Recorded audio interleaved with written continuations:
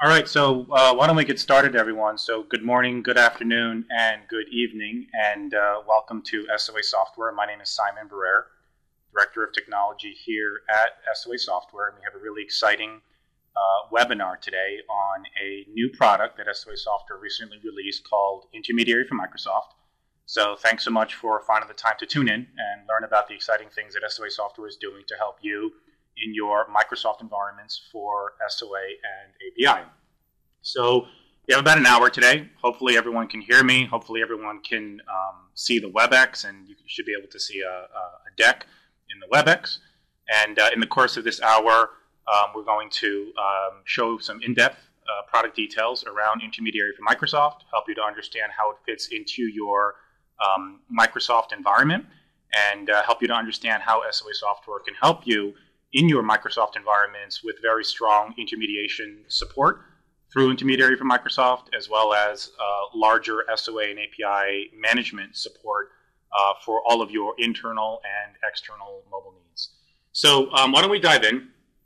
Agenda-wise, we are going to um, spend just a little bit of time talking about SOA software, just give you a level set about the company, and then we're going to uh, uh offer a couple of slides on intermediary from Microsoft. But the bulk of today is a live demo where we're going to show real working code around um, intermediary for Microsoft. So you can expect that the, the bulk of today is going to be some real real show and tell, and then we'll close off with Q and A. Um, so we have a uh, action-packed uh, hour ahead of us. A lot of great content. Um, if you have questions uh, and you feel uh, the need to to uh, uh, address them immediately, please do just ask into the phone. Otherwise, you can also uh, use the WebEx console to uh, raise your questions, and then we'll get to them at the end, and we'll uh, simply go through all the different questions you guys have raised and uh, make sure that we can answer all of them. Um, so without further ado, why don't we uh, dive in and uh, talk about SOA software. So we are a gold certified Microsoft partner. We've been in business for about 10 years. We have a great relationship with Microsoft, with the Microsoft community, our uh, focus as a company is SOA and API management, which means that we help you uh, to bring the power of uh, service-oriented architecture to your Microsoft environments. Uh, we also offer great solutions for API, whether you're coming out with a mobile community of uh, Windows Phone and iPhone and Android apps, uh, or you have cloud applications, web applications that need to access your internal data. We offer a very wide range of solutions, single unified platform, built uh, for the Microsoft platform uh, in terms of managing products like WCF, BizTalk, Windows Azure, SQL Server, and, and, and so on. We also offer full lifecycle management support. So we actually let you manage the lifecycle of your services as they go from start all the way through to finish in terms of their in terms of their um, lifecycle. That kind of gives you an idea about SOA software. And our platform is uh, composed of a number of different um, components. We have uh, products that uh, deal with lifecycle management. You can see on the bottom. We also have um, products that deal with runtime, and we're going to focus on runtime services today through intermediary from Microsoft. So those could be gateway services, that could be integrating with your backend. And then we also have analytics and uh, developer engagement through our Community Manager product, which is going to help you to run a full user community of uh, API developers, app developers, Windows Phone, iPhone, and Android developers. So we offer a very rich, very unified stack on SOA and API. And unfortunately, we don't have too much time today to go into all of these deals as uh, details as we're focusing on intermediary for Microsoft. Uh, but it uh, gives you an idea of uh, what our mission is as a company and what we can offer you in your environment. One last small piece is that uh, we had great recognition uh, last year in 2013 uh, Gartner rated us very highly in the application services governance space. They recognized our strengths in, in both API management and SOA governance. So it's very nice to see that we're getting recognition from uh, the industry around our ability to help you in both your SOA and your API environments. Okay, so why don't we uh, dive into the Microsoft side of SOA Software's offerings. On this slide here, you can see kind of at a high level a variety of different products that we bring to bear in your Microsoft environments in order to bring SOA and API management to those environments. And you can see in the bottom right there, you have a, a series of Microsoft products and you have a series of SOA software products, things like ASP.NET, things like WCF, things like BizTalk Server and SQL Server. And most prominently, you see over there intermediary from Microsoft, which is uh, living inside your data center and is managing a lot of very strategic, very important traffic for you on behalf of the clients that are perhaps living out in the cloud. You can see in the in the golden box on the left, you have things like iPhone and Android and Windows Phone apps. You are contacting intermediary from Microsoft.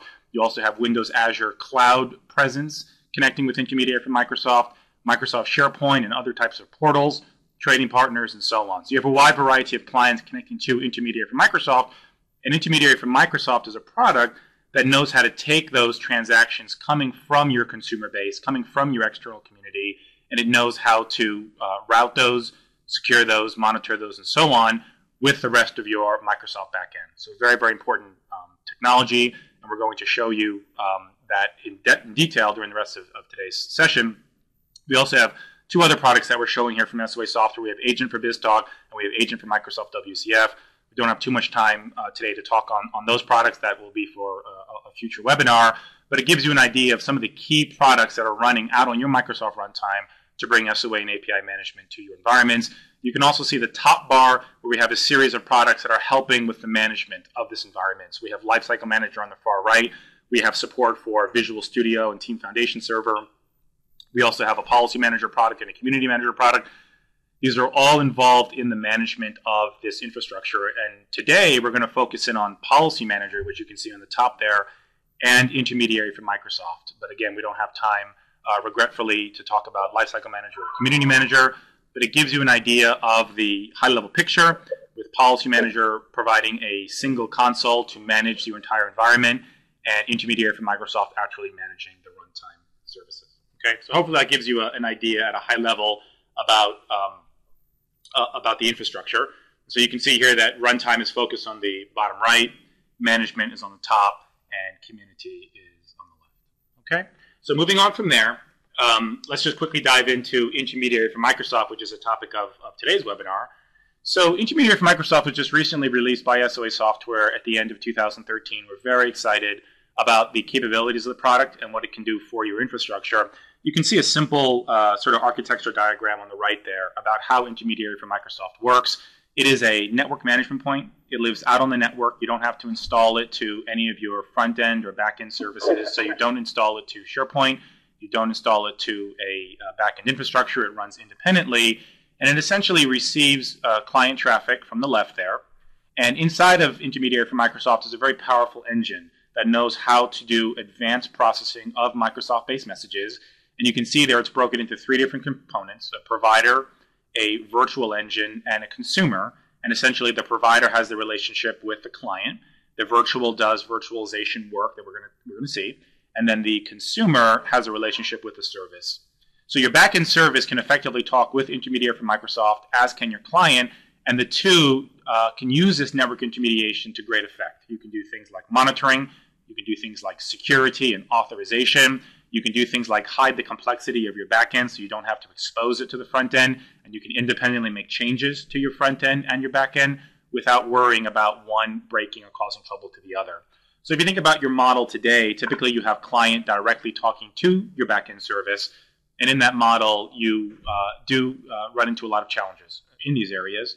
So by introducing um, intermediary from Microsoft and introducing Policy Manager as a centralized uh, runtime uh, register repository that can help you manage your services, you now have a huge amount of new capability. And of course, intermediary from Microsoft is built on and for the Microsoft platform. So you're going to be able to work with all the great Microsoft standards that you work with today, everything from Windows Azure and IIS to Windows Security and Kerberos and NTLM and SPNEGO, NetTCP, and so on. So everything you have in your architecture today, you'll be able to reuse, and intermediate from Microsoft does not get in the way. It simply provides a layer of intermediation and layer of management and control over your services that can be used to great effect and we will uh, spend the rest of the hour during the demo actually showing you live use cases with intermediary from Microsoft as that intermediation point. Okay. All right, so that's really it for the uh, for the uh, sort of intro material. We're going to dive into the demo in just a moment. I wanted to set up the demo by showing you kind of an architecture of what the demo environment looks like. Um, so we saw a lot of these products uh, earlier, but let me kind of introduce them again. We have intermediary from Microsoft, of course, in the middle here, and it's providing the network intermediation. So we're going to send uh, consumer traffic to intermediary from Microsoft. and intermediary from Microsoft is going to forward that to the appropriate backend. In this case, we have a Windows Server 2012 environment, and we're running a series of WCF services, and that's what we're going to use for our backend. And then on the front side, you, you have a series of uh, front-side applications. In this case, we're going to use, make extensive use of ASP.NET, obviously very popular Microsoft technology for building websites. We're going to want, we're going to, want to show how easily easy it is for ASP.NET to integrate with Intermediary from Microsoft. But we also have a very cool thing. We're going to show a PHP-based website. For those of you familiar with PHP, very, very popular platform, it doesn't run natively on the Microsoft platform, and so it doesn't offer the same level of integration that ASP.NET does. Nonetheless, we're going to show a bit of magic. We're going to show PHP working natively with the very same Microsoft backend that the ASP.NET application is going to use.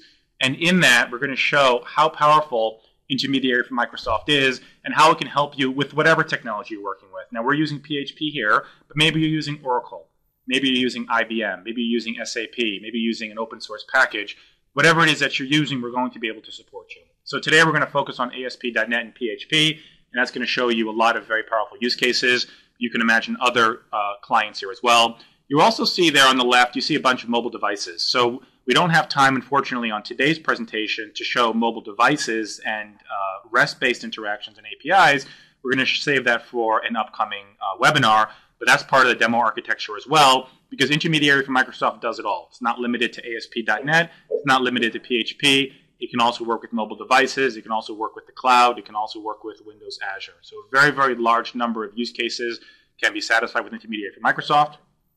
One last thing I want to show here is uh, Policy Manager is going to be the, uh, the uh, centralized console that we're going to use in order to control and manage all of these services. And I also wanted to point out that Intermediary from Microsoft, we show two because we actually have a cluster. So we're going to show very powerful clustering capabilities, and we actually have a cluster of backend uh, WCF, Microsoft.NET services running on Windows Server 2012. So this is like a real production environment. We have a real clustered backend, a real clustered intermediary from Microsoft, and a fully managed environment. So very, very exciting in terms of the um, setup. And just to give you an idea of some of the protocols that we're going to see today, you can see in, in red here, we're going to do things like NetTCP okay. in ASP.NET. We're going to do WS HTTP. We're going to do, uh, on the PHP side, we're going to do HTTPS uh, and basic auth. And on the back end, we're going to see things like WSHTTP, NetTCP, and of course, Windows security. So we're going to show you a whole alphabet soup of different technology types. All the technology types are easily integrated using intermediary from Microsoft. And indeed, we're going to see things like PHP calling NetTCP services on the back end on uh, uh Windows Server 2012. So a lot of exciting uh, uh, different protocols here. And in terms of functionality, you can see here overlaid a whole bunch of functionality. We're going to see, uh, obviously, network mediation. We're also going to see something called contract authorization. We're going to see clustering, mediation, routing, backend load balancing, full suite of security and monitoring. So this screen is full. There's so many features here that we're all going to take a look at.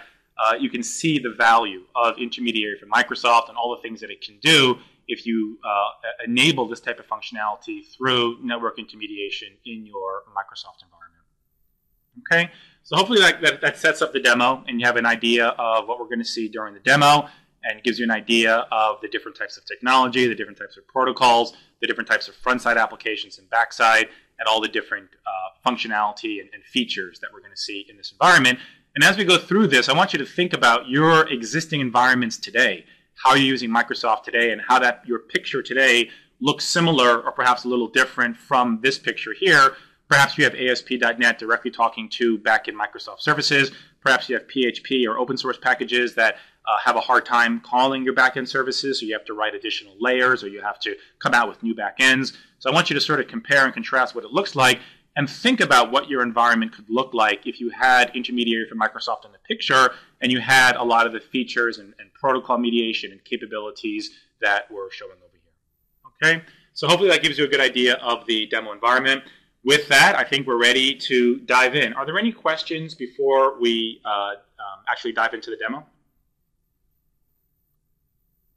Simon, we don't need any agents go along with the intermediary, right? I mean, with the earlier architecture diagram showed the some of the Microsoft agents as well as the intermediary. That, that is correct. Intermediary for Microsoft is entirely standalone. So when we take a look at this architecture diagram, the only components we have in the picture are intermediary for Microsoft and your front end and your back end environment. So absolutely right, you don't need it. You can if you want, but everything we're showing today uh, can run using our Policy Manager product and our intermediary for Microsoft product.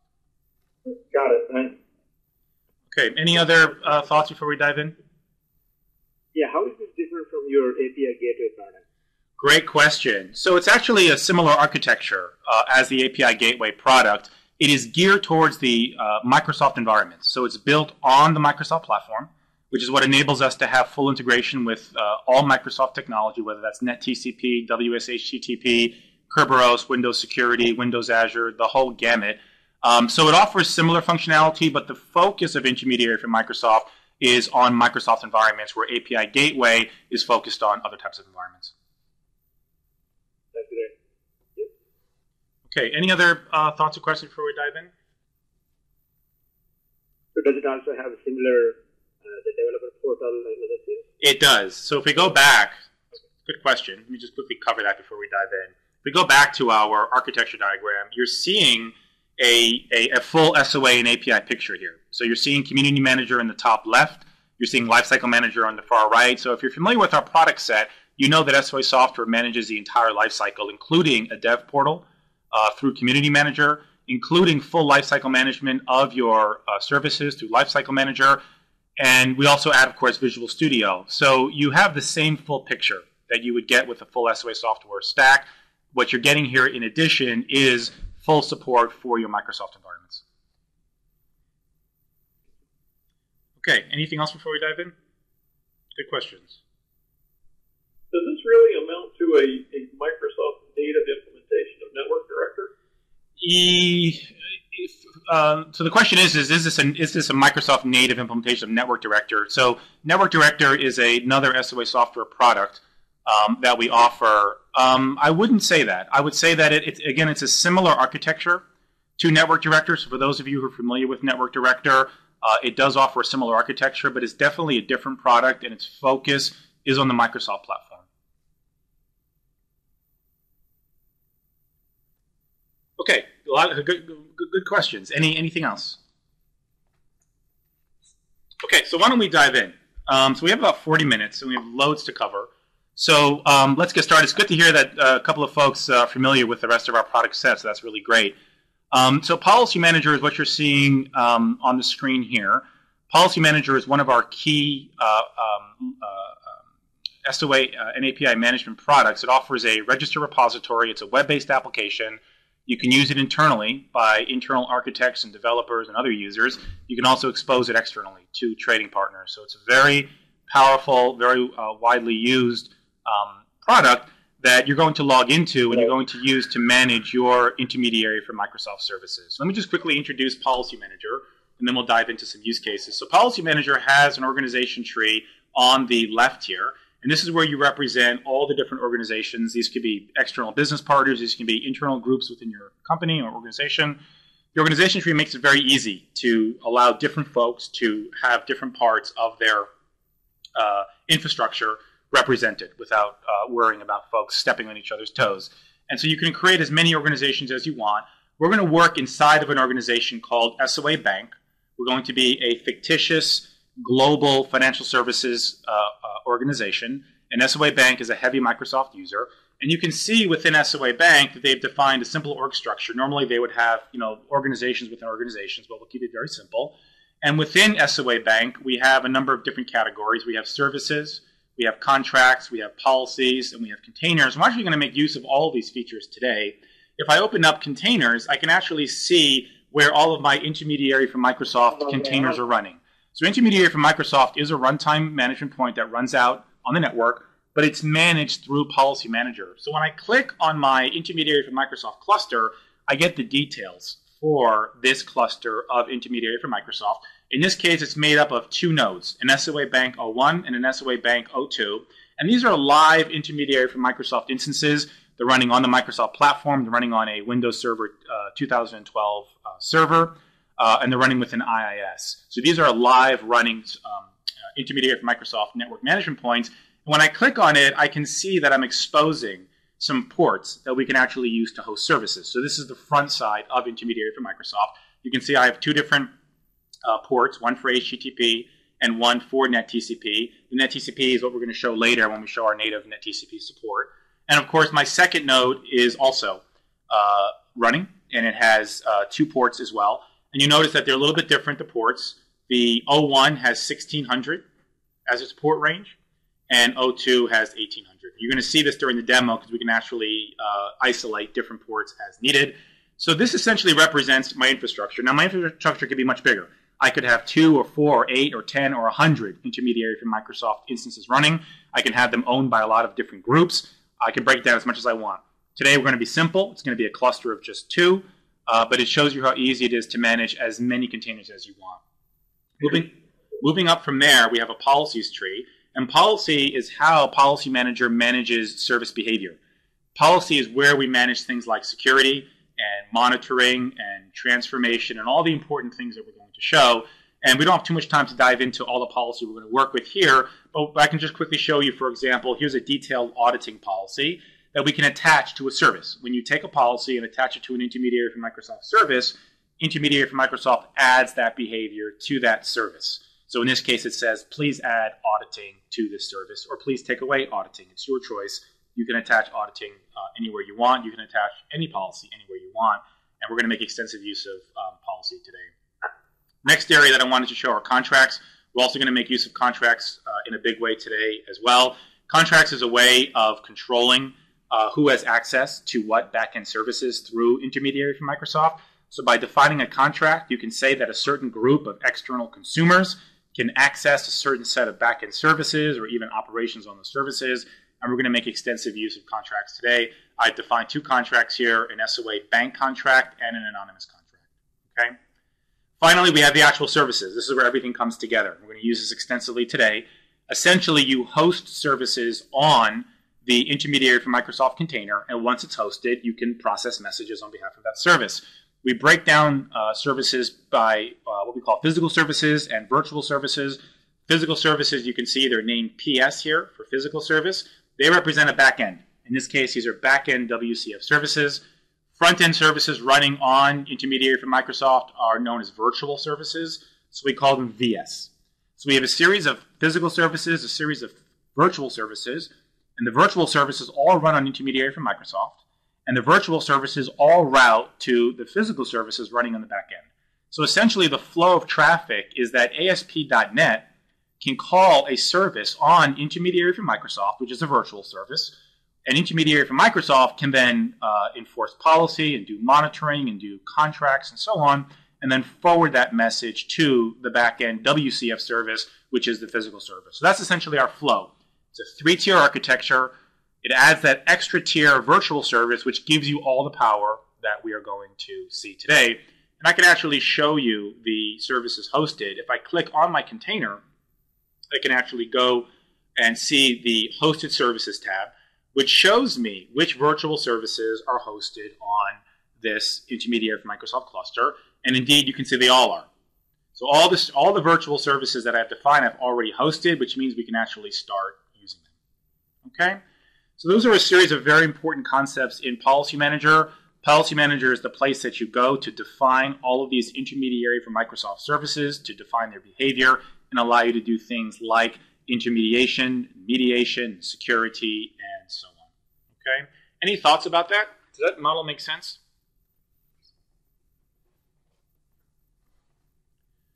Okay, good. So why don't we actually dive in? And I want to start showing you some cool things. Okay? So the first thing I want to show you is I want to introduce SOA Bank. So we talked on the architecture diagram about the ASP.NET website. So why don't we start off with that.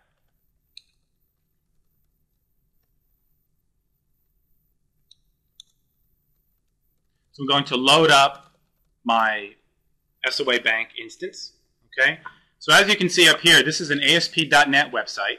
It's running on my Windows Server 2012. And SOA Bank, again, fictitious bank, global uh, uh, financial services powerhouse that has a very rich Microsoft backend. And they needed a way to run their consumer banking uh, application uh, against their backend in a very powerful way. So what we've done is we've used intermediary from Microsoft in order to make uh, SOA Bank work. And you can see that the SOA Bank application has a series of different operations.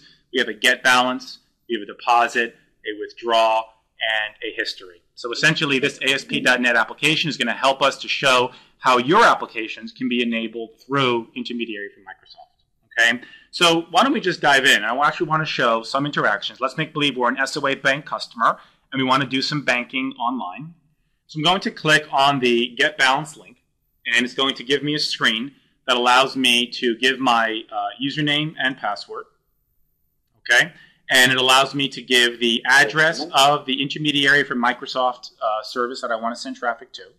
Okay, and then I also give an account number. Okay, and normally a real application wouldn't have this address here. We're doing this in order to show that we can direct where the ASP.NET application goes to, and we're going to use this over time. Today, we're going to start off with uh, this one service here. This is my um, uh, basic service. I'm actually going to show this to you inside of Policy Manager. So this is a running service on intermediary from Microsoft that's running on, uh, that's uh, managed within Policy Manager. So if I go back to Policy Manager, I can actually go show you this service. It's this service right here. And you'll notice that it is a virtual service, meaning that it's running on intermediary from Microsoft and it routes traffic to the back end.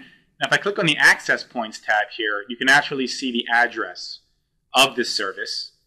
It's running at slash SOA Bank Services VS Basic HTTP. Okay, so this is one of many services we're going to show. And what I want to do is go back to my banking application, and I want to use this address. Yes? Hello? Yes? Are you using this uh, visit site? Sorry? Are we using site for the solar information now? I'm having a hard time hearing. Can you repeat the question? Yeah, are we using this, uh, what we say, uh, so, uh, digital site for, uh, for the services what you shown the earlier, the earlier screen?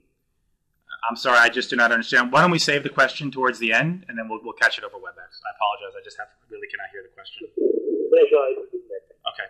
All right, so what I want to do now is I want to get my account balance. I'm going to pass in 12345, and of course, I'm going to pass in this address of this virtual service. Let me click on the Get a Balance link. So the ASP.NET service is now going out to intermediary from Microsoft looking for this balance. An intermediary from Microsoft is going to do its uh, uh, mediation and security and monitoring and all the different aspects, and it's going to come back with a response after routing the traffic to the backend service. So I get back a response, and I get back a balance of zero. So essentially, that transaction works. That's great. It means intermediary from Microsoft is up and running. Next thing I'm going to do is I'm actually going to go over and I'm going to do a deposit now. Okay. So let's say I want to do an $895 deposit. We're going to go to the same place, same intermediary from Microsoft location, same service, and let's click deposit. And there you go. You just deposited $895. Now, why don't we do withdrawal? Let's say I have to go buy some groceries. I want to withdraw $197. Again, we're going to the same location as we've been going to. So let's click withdraw. And I've just withdrawn. And now I want to check my transaction history to see all the things that I've been doing recently. Okay. So again, going to the same service as we've been going before. So let's click on Get History. And I get a nice little table. So it says that, you know, half a minute ago, I was able to deposit. And a half a minute ago, I was able to withdraw. Okay, so we have a fully functional SOA Bank website that has intermediary from Microsoft uh, managing the back end in terms of SOA and API. Now that we have that in place, let's actually go back to Policy Manager and see if we can see some monitoring. Uh, some question? Yes. Question. Right. So you, you have an address there. So does the, developer of the website have to actually post these messages specific to that address? A- absolutely not. The, the, yes, the address is only shown here for demo purposes. Normally, a real SOA Bank customer wouldn't use this. This just lets us demo different types of services over the course of, of today's demo. Okay. So it's a regular regular ASP.NET website. It's just that how, is the regular ASP.NET website connected to this particular survey? Great question. It uses it uses a, a, a built-in WCF client to contact intermediary from Microsoft using WCF style services. Okay, so you can imagine the ASP.NET integration uses whatever Microsoft technology it needs to use. In this case, it makes a service invocation to intermediary from Microsoft using standard WCF client technology. Okay. So, um, yes. for, uh, for the user authentication, so you have to uh, pass in user ID password. Do you have other ways to do it? Doing it? Yes, we have a lot of different support. We're going to get into user authentication in just a moment. We're actually not making use of user authentication yet, but we're going to show that in just a couple of minutes. Okay? These- these- Good, good, good questions. So what I want to do is now that we had a couple of transactions go across, I want to go back to my service in Policy Manager. Remember that the service that we're hitting at this URL, this is hosted on intermediary from Microsoft and managed by Policy Manager.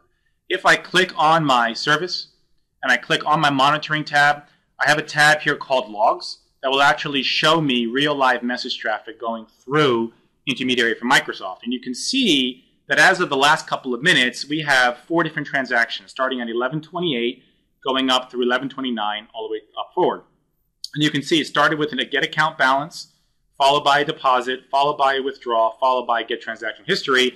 So this exactly maps to what we were doing in the UI, in the ASP.NET website. So essentially, all that traffic going from ASP.NET to intermediary from Microsoft is being fully monitored by intermediary from Microsoft and surfaced on Policy Manager. And we can actually go inside of one of these transactions. And we can actually see things like where the traffic is going to. You can see it's going to a backend WCF service. You can see where it was listening from, the, uh, the uh, 16080, which again matches this address right over here. Okay, and I can even see message content. If I click on recorded messages, I can see the actual request coming from ASP.NET. I can even include things like headers. So you can see over here all of my headers, and I can also see in my response exactly what was going through. So I'm getting full feedback about these details of the ASP.NET transactions. Okay, so this is pretty good. We have a really good first use case. But this is not nearly, yes, go ahead. Uh, Is this all pure HTTP request, right? Yes.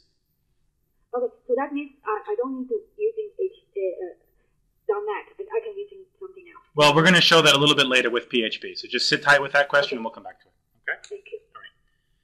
So this is pretty good. We have a full running uh, transaction with ASP.NET. It's fully managed inside of Policy Manager. It's fully running out on intermediary from Microsoft. So we now have really nice control over this service. But we, we have hardly uh, scratched the surface in terms of what we can do with intermediary for Microsoft services because we haven't seen things like security and mediation and a lot of other powerful things. So the next thing I want to do is I want to start getting a little bit more sophisticated. Okay. So you'll also notice that there's another service over here called Basic HTTP. I'm sorry, uh, down here called um, SOA Bank Services uh, NetTCP Transport Windows. So this is a very similar type of a service. It's a SOA Bank uh, service that can do deposits and withdrawals and so on. But the reason why it's different is that it's a pure NetTCP service. When I click on access points, you can actually see that it's hosted on NetTCP and not HTTP. Okay, so the address is a little bit different. It's a different technology, and the backend as well is NetTCP, not HTTP. So the question is, is if you have an ASP.NET website today that's talking NetTCP to a backend, can you add network intermediation and support native NetTCP services using intermediary from Microsoft? And the answer is absolutely. So what I want to do is I want to switch gears and I want my ASP.NET website to use NetTCP and not HTTP. So I'm going to uh, go again and, and, and click on that access point. And you can see the address that we need to use here. Okay. And what I'm going to do is I'm going to switch over and I'm going to load up a net TCP version of this uh, website. Okay. So same website, but it now uses net TCP. You can see at the top here that it's still an ASP.NET website, but it's using net TCP and not um, BASIC. And as a, as, a, as a similar website, I can go and I can get balance, and you can see that my address now is NetTCP. Again, it's pointing to that very same URI that we saw right over here under access points. Okay, so let's go back over there, and let's do another get balance. Okay, and it comes back. I get zero. Bear in mind that this goes to a different net NetTCP backend WCF service, so we essentially lost our last banking transactions. Let's quickly do a, a couple of more banking transactions. Let's do a deposit. Let's do a withdrawal. Let's call this more groceries. And let's do a lot of groceries. Do $2,000 worth of groceries. Okay, so I withdrew, and I can also get my history. So this is all being done over NetTCP, not uh, HTTP, all through intermediary from Microsoft. We can actually see messages go across. When I click on my service, click on the monitoring tab, and under logs, I can actually see my recent transactions like get transaction history. I can see that the next hop was a net TCP service and not an HTTP service. And I can see also that my listener was on net TCP. I can also look at recorded messages, and I see a similar set of recorded messages as I did with HTTP. So now we're starting to get a little more powerful. Now we're starting to cook with fire. We now have full net TCP support here, all with full mediation. Now, we don't only have NetTCP running natively, we also have security. So let me show you something interesting. Go back into that transaction, you will actually see that we now have a user here, SOA Bank user 1. So intermediary from Microsoft actually uh, authenticated SOA Bank user 1 using Active Directory. So this is full Windows security. And it also did contract authorization for this user. Okay, let me actually show you by, by putting a bad password what it's like when intermediary from Microsoft doesn't like what, what you're doing. So now it fails. Okay, or I can put the right password, or I can put a user that doesn't exist, like user 100. Okay, so it just fails. Okay, so this is full live Windows security in a Windows domain called SOA MS. Let me put it back right again and click Get History. And not only do we have full Windows security, but we're actually doing something called delegation. This is a Windows uh, concept, a, a uh, Windows security concept that allows intermediary from Microsoft to represent SOA Bank user 1 on the backend. So the backend thinks that it's talking to the SOA Bank user 1, even though it's talking to intermediary from Microsoft. I can actually show that. If I log into my Windows Server 2012 environment, which is where SOA Bank is running, this is like my, my data center, I can go to my uh, event viewer and I can actually see the successful authentications. Okay, and so what you can see over here is that that backend service is saying that SOA Bank user one was indeed the one that uh, was the authenticated user. So intermediary from Microsoft is essentially impersonating SOA Bank user one so that the backend WCF service gets the same credentials that were passed into intermediary from Microsoft. So this is an extremely powerful concept. This allows us to manage full security between the front and the back. It also allows us to essentially pass credentials from the front all the way back to the back. So very, very uh, powerful in terms of uh, what you can do here. Okay. Another thing I wanted to show you is that you know I can support different users. So I'm going to try user three and click Get History, and user three works. But there's also another user. Let me show you where my users are defined because Policy Manager lets you define all of your users as well. So you can actually see where I'm defining all of my Active Directory users inside of Policy Manager. So we make it very easy for you to add and remove and modify users. But I also wanted to point out contracts. I showed you the um, monitoring for this transaction, and I showed you the contract that was used. It's this contract right over here, SOA Bank names. Let me actually show you how this contract works. If I go down to contracts, and I open this one up, essentially SOA Bank named is a contract that sets up a relationship between S, between SOA Bank's um, consumers and its backend services like this backend WCF service. And you can see how it works. I can define all the services that I want involved in. Uh, these are all the the uh, intermediary from Microsoft services that are that consumers are allowed to call, and here are the users that are allowed to use it. Now you'll notice that on purpose, I only added user one and user three. So essentially, user 2 is not part of this contract. So user 2 will authenticate. It's a valid Windows user, but it doesn't have access to this contract, in which case it doesn't have access to this intermediary from Microsoft Virtual Service, in which case it doesn't have access to the backend. So this is a very important and powerful concept in Policy Manager, and let's show it in action. Let's actually use user 2. Remember, user 1 worked and user 3 worked.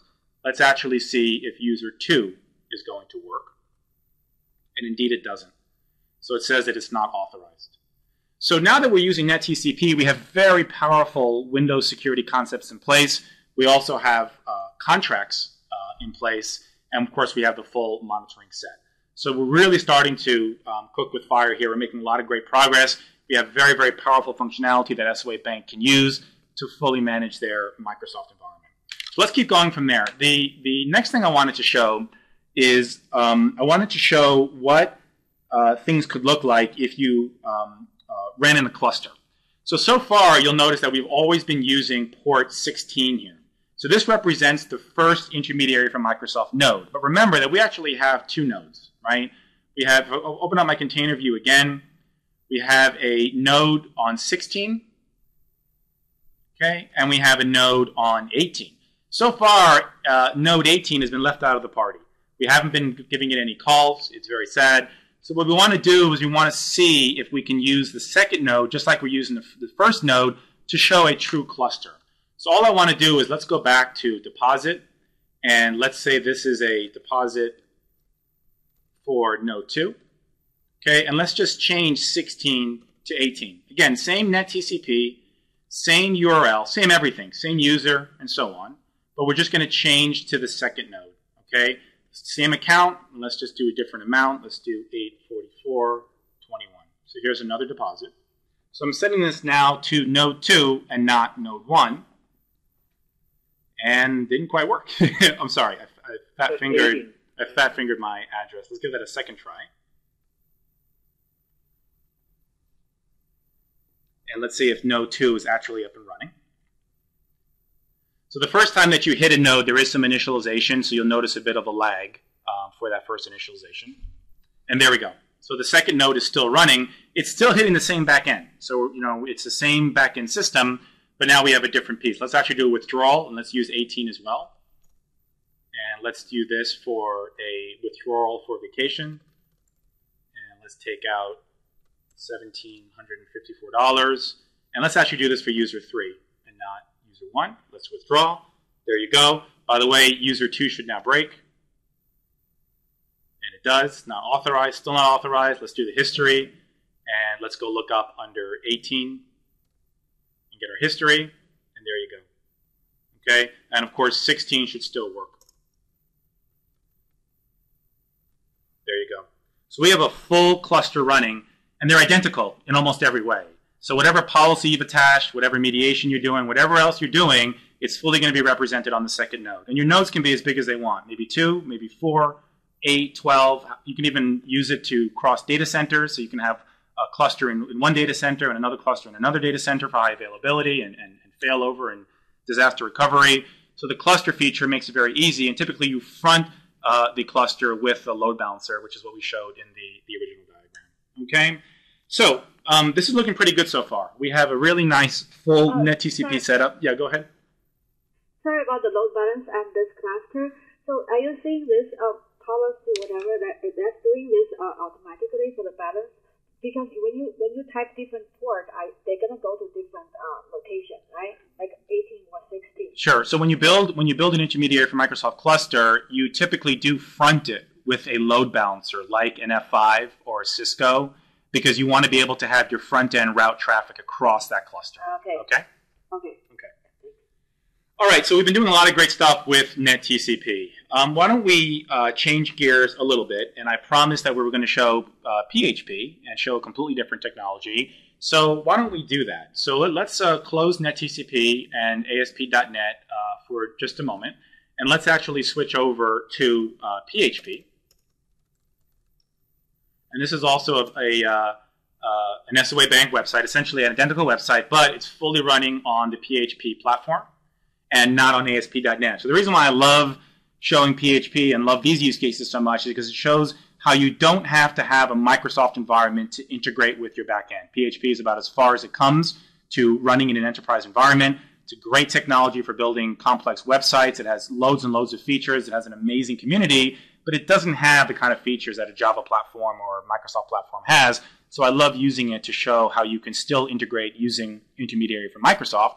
So why don't we actually show this? So the first thing I want to do is click on the get balance. And you know everything works basically the same as the ASP.NET. It's just that we're running in PHP. Okay. So the first thing I want to do is we're going to use a different service here. We're going to use this basic HTTP, which is the simplest service that we have. Let me show that to you over here. Essentially, this has no security. It has no net TCP. It has nothing. It's a pass-through, just to show you a very simple first case. Okay, so let's go and sorry, wrong, wrong screen. So let's go and um, show this working. So I'm going to hit my first node. And again, these services are all running on the same cluster, net TCP, PHP, HTTP, and so on. And I'm going to I'm to hit it on my first node. So let's do a get balance. Sorry, I think I fat fingered this. Okay, 697. Okay, and I should be able to do a deposit as well. Okay, a withdrawal for groceries, and then my history. Okay, so fully working PHP website. It's integrating through intermediary from Microsoft. It's hitting the back end. But this isn't entirely satisfying because you would never have a straight HTTP website. You're always going to have some form of security. You're going to have integration with Active Directory. You're going to have NetTCP or WSHTTP or MSMQ, whatever it may be. So let's actually show a more sophisticated example. And this is going to be one of the coolest examples um, that we're going to show today. I have another service here called um, Basic HTTP Basic Auth to Net TCP Transport Windows Security. So this is an example of a mediation. This is going from a certain technology on the front to a certain technology on the back. In this case, the back end is Net TCP with Windows Security. Now, we've already seen this with ASP.NET. The ASP.NET backend service was exactly this. But the difference was that in ASP.NET, the front was also NetTCP. But in this case, we're going to make it easy for PHP by using basic HTTP and basic auth. Okay, so essentially, we're going to send a very simple basic auth message to intermediary from Microsoft. Intermediary from Microsoft is going to authenticate. It's then going to route that message and use NetTCP on the back end. So very, very cool. This is an example of mediation of multiple types. We have a security mediation here because we're going from basic HTTP to Windows security. We also have a protocol mediation because we're going from HTTP to NetTCP. So let's go back here. And what I want to do is I want to get the address of this service so I can plug it in. Okay, I'm going to copy that. I'm going to pop it in my box here. So transport win. And let's send this off. And there you go. So even though we are using a very simple basic HTTP up here and over here, we're actually talking net TCP to the back end, all through the magic of intermediary from Microsoft. Let's also, by the way, make sure this is working on the second node of my cluster, just to be sure. And indeed it is. So my entire cluster is working. Let me actually show you that mediation in action. If I go to my monitoring tab, I can see my recent activity. If I double click, I can see that the next hop URL was NetTCP, not HTTP but the front side was basic auth. We can also see that we are still authenticating user one against Windows security. And indeed, we can also show that on the back end, let me go back to my server, we can also show that we are passing that credential down. So you can see over here, it is still user one. So essentially, Intermediary from Microsoft has taken the basic auth credentials, converted it into Windows security, uh, did all of its contract work, and then forward it down to the backend service. And indeed, what I can also do is I can try and, and see what happens when I put in something like a bad credential. So let's do user 5. Okay, and that fails. But let's also see what we do with a real user that's not contract authorized. There you go. So I have full functionality here. This is a PHP website. Um, you know, you don't have to, to clean up your monitor. You're seeing uh, the same thing I'm seeing. This is a PHP website talking to a NetTCP backend. Before with uh, ASP.NET, we had a lot of uh, great benefits, but here we have even more benefits. We're able to expose whatever we want on the back end to whatever type of technology. This could be Oracle, this could be IBM, this could be open source packages, and of course it can be PHP. So we have a lot of uh, powerful functionality that we're able to put into play here. One last thing that I want to show in terms of mediation is I want to show one other piece. I want to show what happens if we don't um, use any credentials at all.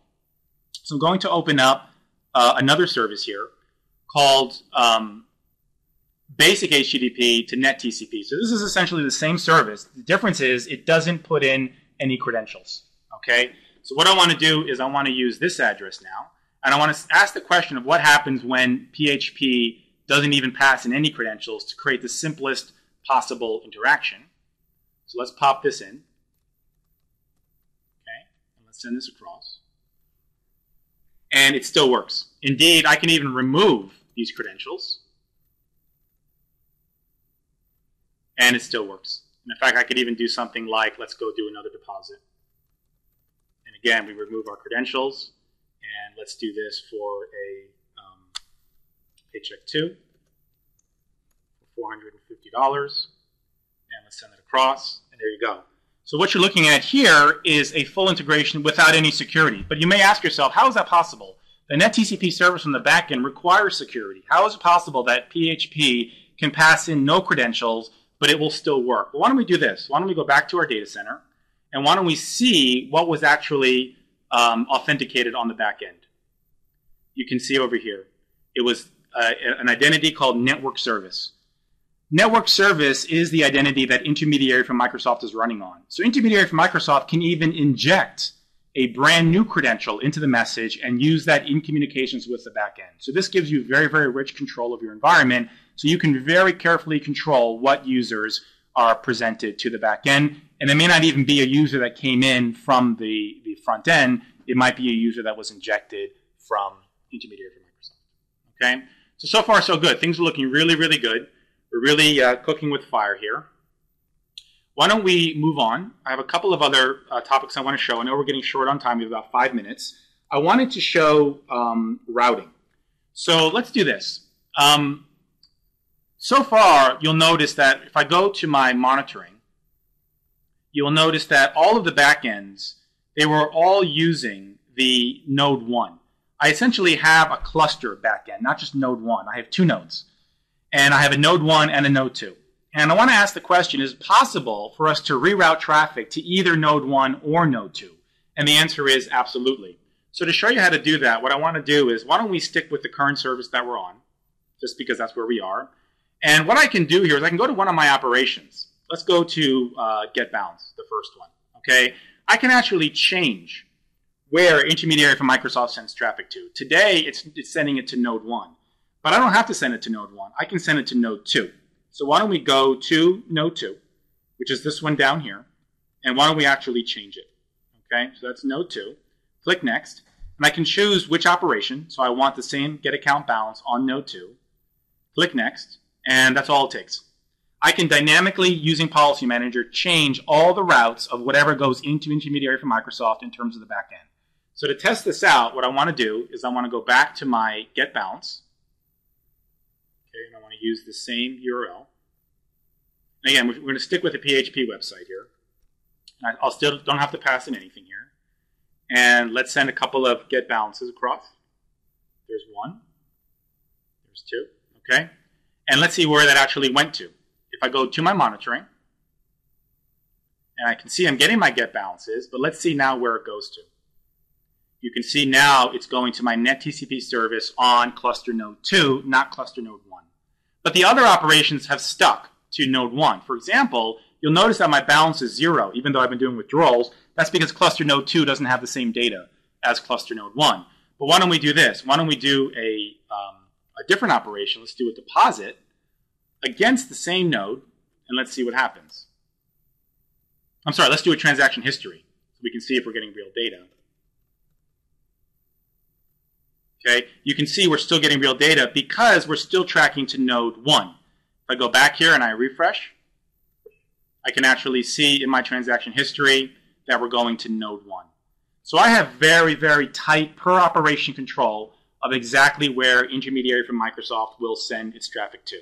Another thing I wanted to show you related to that is I wanted to show you um, load balancing. So let's actually go and put that back.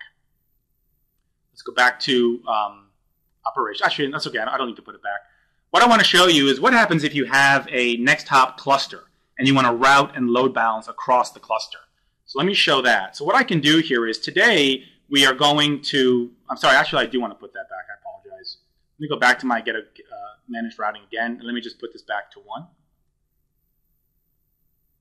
In the TCP. And get account balance. Okay, so I'm just going to set it all back so it all goes to node 1. And now what I want to do is I want to go to node 1. Let me see here. I want to go to my backend, and And I actually want to add another access point so that I can build a cluster. So what I want to do here is I want to go in here and take this address.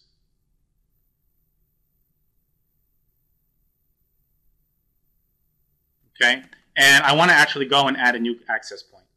So I'm going to click Add Access Point, and I'm going to use the same uh, bind. Actually, I'm sorry. Let me get this whole URL. I apologize. Let me take this entire URL. This is the URL of Node 1 in my backend. And I go back, and I say Add Access Point, and then I can call this my Node 2 access point. I click Next, and here's where I put my URL. So I'm going to change the URL in only one way. It's still net TCP, It's still on the same server, but I'm going to say it's Node 2 and not Node 1. Okay, so that I essentially now have two access points. Okay, and by having two access points now, intermediary from Microsoft is automatically going to load balance across them. So before we were just going to one, now we're actually going to load balance. This way, intermediary from Microsoft can work with an entire backend cluster. So to see this work, I should be able to, remember that we have different data on each one. So I should be able to call it and see it routing to one with data and one without. So let's, let's stick with this use case and let's send it across. Okay, get history. And you see I have no history now because I've hit node 2. Let me actually show you hitting node 2. If I go back to my service, getting a little bit dizzy here with all these services. Uh, yeah, this is what I want. So this is my basic HTTP. If I go to my get transaction history and I go here, we can see that the backend that was chosen was node 2. And that's why I'm not getting any data. But let me send it across a second time now. Now I'm getting data. Why? Because intermediary from Microsoft is load balancing net TCP to uh, load 1 now. Let's actually go back in, and we can actually see node 1. So we have live dynamic load balancing across the back. And indeed, if I keep switching back and forth, I'll just keep going back between data and no data. So no data is 2, now it's 1. No data is 2, and now it's 1. We just keep on going back and forth. And of course, the full cluster should still work. So if I go to 16, if I go to my, my intermediary node 1, I get nothing, and then I get something. So both intermediary from Microsoft are balancing across the back. Okay? So um, there were a couple of more things that I wanted to show, but we have run out of time. So we'll, I think we'll break here. And let me just um, kind of review and recap everything that we saw. I hope you guys found this very compelling. We started off with an ASP.NET website. We've managed all of our SOA bank interactions through intermediary from Microsoft. ASP.NET used NetTCP, full security, contracts, monitoring, uh, load balancing, and so on. And then we moved on to PHP, and we showed how PHP could fully integrate. It could still make use of full Windows security, uh, NetTCP, all of these features, even though PHP really does not know how to integrate with these technologies on its own. And we showed a variety of different features. Everything we've shown just now just scratches the surface in terms of what intermediary from Microsoft can do. I hope you're starting to realize what a powerful addition it can be to your data center and the new architectural doors that it can open up in terms of how you can very effectively manage your Microsoft infrastructure. Before we dive into questions, um, just a quick note about one piece that we didn't get to show today. If you go back to the uh, diagram of the demo, we had the mobile devices. So we didn't have time today to show you the full mobile story, including Windows Azure and mobile services and Windows Phone, iPhone, and Android, REST-based services, all that very cool functionality. We will do that in our next webinar on intermediary from Microsoft. So definitely stay tuned for that because that is the other half of this entire story. So there's a lot of exciting stuff there. So I think we'll close now for questions, but you know, hopefully you found this uh, very exciting. Um, you see a lot of uh, potential here for your environments, and um, you know, hope to talk with you soon on the uh, what you guys are doing in your Microsoft environments and how we can help. So with that, um, why don't we um, close it up for uh, questions? And um, uh, please, if you have any questions, please ask and um, you can also uh, ask in the in the chat bar. Uh, Simon, uh, when you showed the authentication use case, was the authentication done both by the intermediary and by the backend? Yes. So the NetTCP use cases where the backend was NetTCP, both intermediary from Microsoft and the backend did authentication. Essentially, the backend did a, a, uh, Kerberos Windows security re-authentication, and by the way, authorization as well so it, it's a full Windows security use case, and obviously Intermediary from Microsoft did the same thing.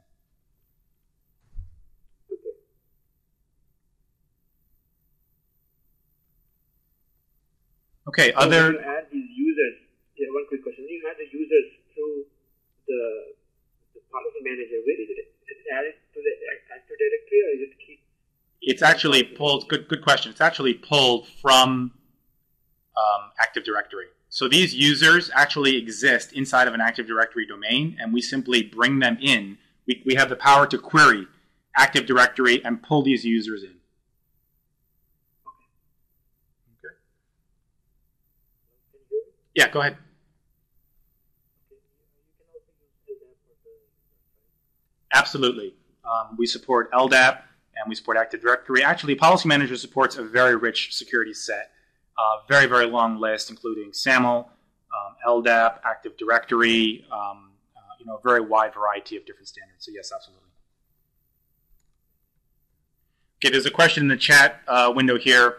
Um, any failover capability in addition to the load balancing of multiple physical endpoints? So if a downstream server goes down, so that's a great question. The current product set does not offer failover capabilities. So essentially, the question is, um, if one of those two nodes were to go down, is intermediary uh, for Microsoft able to stop routing traffic to it? And the answer is not today, but that is on our roadmap. So it's a great question, and you should look forward to that functionality in the future.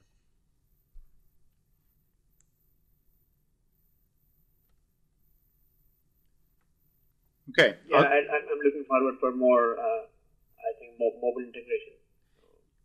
Do you know, do you know approximately when is- when would that be? Yes, we haven't scheduled a date, but definitely very soon. Um, so we're very excited about it as well. So definitely check back, and we're going to have a full presentation just like this one, where we extend the SOA bank story, and we actually have Windows Phone apps running banking against this very same backend infrastructure. So definitely stay tuned.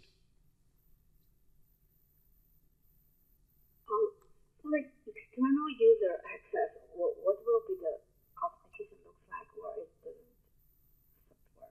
Sure. So it depends upon your use case. So we showed with PHP that the user could authenticate very simply using basic auth. And we could turn that into a full Windows security use case down to the back end. So that's one very valid use case. You could also have internal users and internal websites like ASP.NET that can do full Windows security, in which case that's acceptable as well. So we support a very large number of use cases. We also support, for example, um, API, OAuth, REST use cases, which we haven't shown here, and we'll show on our next presentation. So the, the goal of Intermediary for Microsoft and, and SOA software overall is to support all the different security use cases that your uh, all of your consumers need to support your full infrastructure.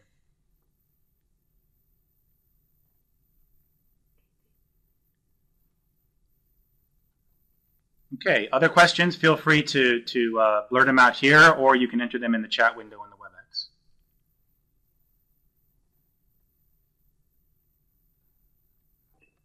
Uh, Simon, you want to uh, share your email address with the audience? Absolutely. Um, so if there are no other questions, we can close. Um, so actually, I have a I had a closing slide.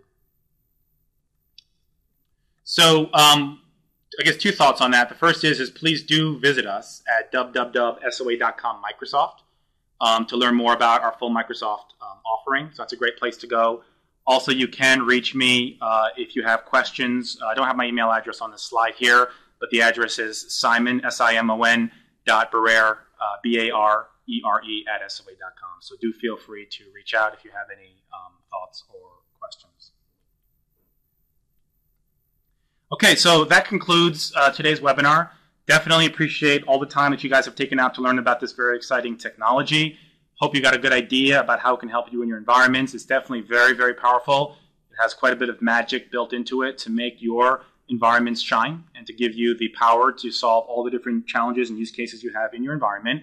So we definitely look forward to hearing from you soon and definitely look back, uh, check back uh, in terms of our upcoming webinar on API and mobile and, uh, and uh, community manager and, and those technologies.